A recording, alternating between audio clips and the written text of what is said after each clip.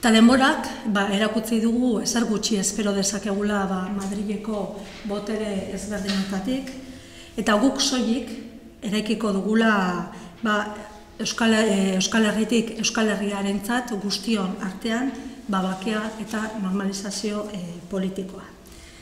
Hori da, hori da Espainiako agintariak mugiaresteko bide bakarra, nazio artean argi erakusteko zein dain estatu Espainiararen e, maila zein den e, beraien aurpegi antidemokratiko eta ostopatzailea.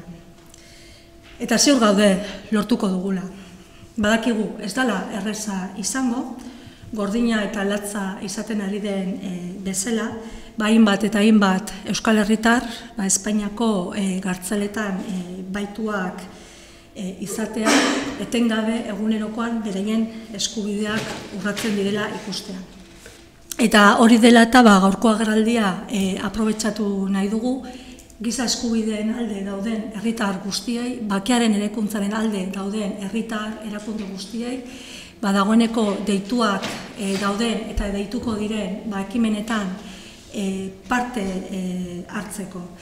Eta bukatzeko ba, e, gure aldetik, aste honetan epaiketan murgilduko diren pertsona guztiei, familia guztiei, gure elkartasuna eta animoak helarazi nahi e, dizkiegu, alegia, beraiekin gaudela.